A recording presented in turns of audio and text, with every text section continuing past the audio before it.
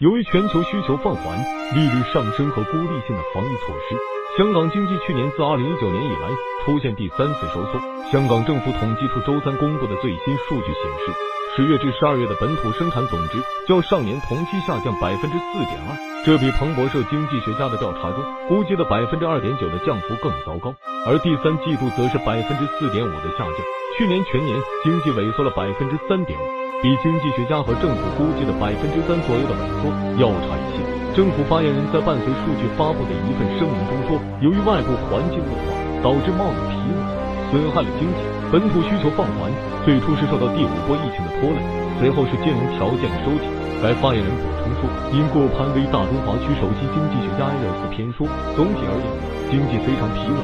他列举了影响就业和消费信心的办公室和商店控制率，以及外来游客的缺乏。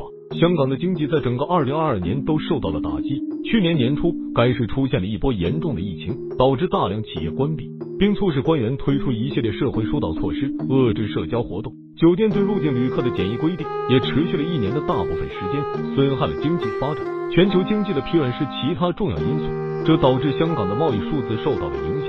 十二月的出口量创下了自二十世纪五十年代以来的最大跌幅，仅对中国大陆的货运量。就比一年前骤降了百分之三十。